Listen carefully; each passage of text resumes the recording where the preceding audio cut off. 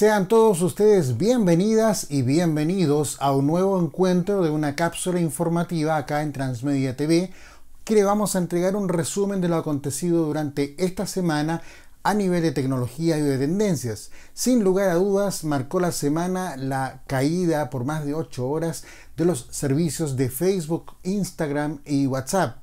Algunos de, de manera parcial, otros no se podía subir contenido, solamente texto, y la verdad de las cosas que eh, esto trajo consecuencias. Primero, la explicación oficial es que se suponía que hubo un problema en la configuración de uno de los servidores de Facebook y eso habría generado y desencadenado el problema. Pero en las últimas horas se ha sabido que de manera oficial han habido eh, varias cabezas eh, rodando en las oficinas de Facebook al menos cuatro ejecutivos han sido despedidos a consecuencia de este problema. En otro término, Samsung con su S10 Plus recién lanzado en Chile ha admitido que tiene algunos problemas en el lector de huellas inserto en pantalla, pero hay que ser justos.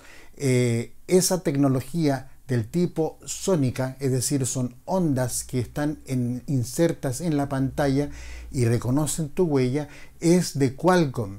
Eh, es el único fabricante Samsung que ha inserto este tipo de tecnología. Otros fabricantes como Huawei, OnePlus y Xiaomi están usando una tecnología de lector de huellas inserto en pantalla del tipo óptico, es decir, la huella es una fotografía de los de las líneas de tu huella y de tu dedo.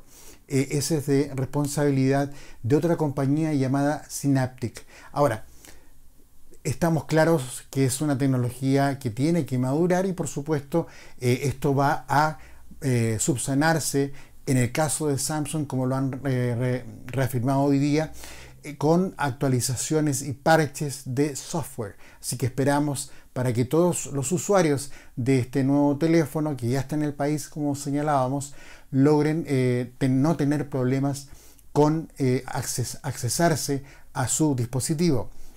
Habrán novedades también respecto de Apple con su eh, anuncio enfocado a software, a, servicios, más que a dispositivos, nada de iPhones en este momento. Simplemente se espera que Apple confirme su propio Netflix de un servicio de noticias y además eh, pueda integrar también revistas. Eh, el tema está en que no se sabe con certeza si esto va a ser un servicio focalizado a algunos países, si va a tener un costo de mensualidad muy alto o se va a ofrecer de manera gratuita a los usuarios de las plataformas de iPhone, iPad y Mac.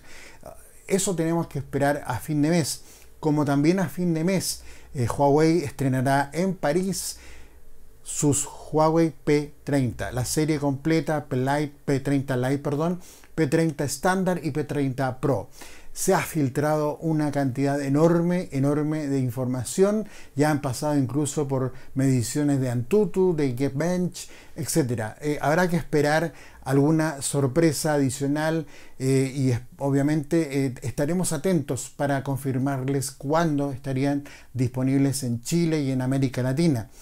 Para Huawei, Chile y México son países claves cuando se trata de lanzamientos. Por lo tanto, si seguimos esa lógica, si el lanzamiento es a fines de marzo, evidentemente lo tendremos probablemente en menos de 30 días ya en nuestro país.